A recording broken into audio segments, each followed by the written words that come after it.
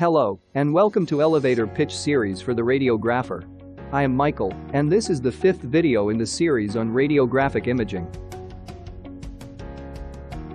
In this video, we'll be looking at some usually undesired properties a radiograph can have, distortion and artifacts. We'll be finding out what distortion is and some causes of distortion. We'll also be learning about artifacts and some types of artifacts. Let us start out with a little scenario. Imagine there is a governor of a certain state, Governor X. And towards the end of one of his press conferences, he made a very interesting statement. Life would be great if every citizen got free food every day. Now this is quite an interesting thought. Who doesn't like free food? But, you would agree with me that it was just a thought, the governor simply thinking out loud. Now, what if the very next day, the headlines read, Governor X says all citizens are to receive a daily supply of free food very soon. While this might sound nice, it is not true of what our friend, the governor, said. It is a misrepresentation of the truth. It is a distortion. Radiographic distortion is a misrepresentation of the size and or shape of an anatomy that is being radiographed. This implies that there are two types of radiographic distortion, size distortion and shape distortion. Under size distortion, we commonly have magnification. While under shape distortion, we either have elongation or foreshortening. Let us look at size distortion, magnification. It occurs due to two major reasons. An increase in the object image distance and a decrease in the source image distance or source object distance. We learned a lot about two out of three of these terms in the previous video.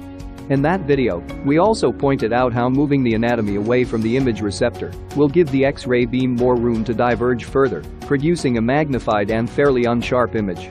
We also pointed out that, if we move the tube away from the image receptor, that is, increase the SID, compensation for the increased OID is made, and magnification is prevented. Take note that, when increasing the SID to compensate for an increased OID, for every 1 inch of OID that was added, a 7 inch increase in SID is needed to prevent magnification. To illustrate further, let us try this example out. When an anatomy is in contact with the image receptor, an SID of 40 inches is used to produce a relatively distortion-free image. If the anatomy is moved 3 inches away from the image receptor, what SID should be used to prevent a distortion? We have stated that for every 1 inch of OID added, 7 inches of SID increase is needed. In this case, 3 inches of OID was added, which means 21 inches of SID increase is needed. The original SID was 40 inches, thus 21 inches should be added to the old SID of 40 inches for a compensation to occur. This brings our new SID that would provide a distortion-free image to 61 inches. We can also estimate the amount of magnification that would occur when the OID is increased and no compensation is made. Do you remember this formula from high school physics? Magnification equals image size divided by object size. We'll also be making use of a new but related formula, magnification equals source image distance divided by source object distance. Let us practice this with an example. A 44-inch SID is used to radiograph an anatomy that is 5 inches in width. If the object lies 6 inches from the image receptor, what will be the width of the image? From the question, we can establish that the SID is 44 inches. Remember when we said in the last video that source object distance, SOD, is a derivative of the source image distance, SID. Here's what we mean. The source object distance is the distance between the X-ray tube and the anatomy. Remember that the source image distance is the distance between the X-ray tube and the image receptor. And, the object image distance is the distance between the anatomy and the image receptor. If you factor these together, you would observe that the source object distance is the source image distance minus the object image distance. If you're still not sure how this is so, go over the last 30 seconds of this video again, as it might be a little bit tricky at first. Now, in this case our SID is 44, and our OID is 6. This means that our SOD is 44 minus 6, 38 inches. The X-ray tube is 38 inches away from the anatomy. Now that we know both our source object distance and source image distance, we have everything we need to calculate the magnification. Using the formula on the upper right-hand side of your screen, magnification equals SID divided by SOD, 44, divided by 38.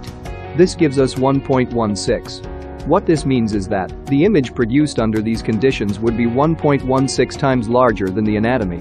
Since we know the anatomy or object size from the question, and we have been able to calculate the magnification, we can now use the high school physics formula to get the size of the image. By making image size the subject of the formula, we get image size equal magnification times object size. This is 1.16 times 5, which gives us a final answer of 5.8 inches. What all this means is that, when an anatomical part that is 5 inches wide is placed 6 inches away from the receptor, and an SID of 44 inches is used, the image produced will not be 5 inches wide like the anatomy. It will be magnified. It will be 5.8 inches wide.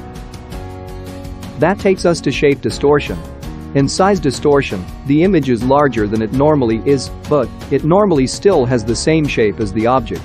In shape distortion, structures within the radiographed anatomy have a misrepresented shape. Some of them appear stretched and long, an effect known as elongation. Others appear like they were pulled back in space and short, an effect known as foreshortening. In a normal situation, the anatomy is parallel to the image receptor, and the X-ray tube is perpendicular to both of them. This alignment prevents shape distortion of any kind and allows the image to completely represent the anatomy in terms of shape. Any change in this alignment between the tube, anatomy and image receptor, would cause shape distortion. This change in alignment can occur when the tube is tilted such that it is no longer perpendicular to the anatomy and image receptor. It can also occur when the anatomy is not lying parallel to the image receptor. Now that we have gone over radiographic distortion, let us look at what radiographic artifacts are. An artifact is an unwanted mark or blemish on a radiographic image. It is usually due to improper handling of the film or used of damaged radiographic accessories. The list on radiographic artifacts is by no means exhaustive, there are so many types of artifacts that can occur in radiography. Let us look at a few of them. First is the pressure artifact. If you look closely at this radiograph, you would observe fingernail-like marks on it. These are not structures on the anatomy that was radiographed. Rather, they are due to pressure of the fingernails of whoever handled the film during processing. These types of artifacts are also known as crimp marks. On this radiograph, you would observe some spider or tree-like marks. This is due to the buildup of static electricity on the film. This buildup occurs when a radiographic film is slid into the cassette. It also occurs in areas of low humidity and when the radiographer wears a clothing material that encourages the buildup of static electricity. A good example of this being silk. Other types of artifacts include screen artifacts, chemical processing artifacts, and grid cutoff artifacts. Remember, it is very important to prevent having artifacts on a radiograph as they severely degrade the radiographic image quality. In this video, we discussed how distortion causes structures to be misrepresented on a radiograph. Most of the time, this is bad and unwanted. However, there are times when distortion can be useful and is caused on purpose. Let us conclude this video by highlighting some useful applications of distortion. First, size distortion, also known as magnification, is useful in certain procedures like mammography to obtain magnified views of the anatomy. Sometimes in mammography, the lesions are very tiny, to get more information out of the procedure, the breast tissue is kept at a distance from the image receptor. This causes the image to be magnified, and the tiny lesions are now bigger and easier to diagnose. Also, shape distortion is achieved in the many angulation views that are used in radiography. By cranially or caudally angling the tube such that it is no longer perpendicular to the anatomy and image receptor, shape distortion occurs. This can help to displace superimposing structures that we are not interested in. One example of this is in the posterior anterior image of the skull, where the tube is angulated downwards to displace the petrous ridge, which we have no interest in, from the orbit. That concludes this video on distortion and artifacts. We look forward to your questions and comments in the comments section or via email. If you loved this video and would want more content, please subscribe and share with your colleagues.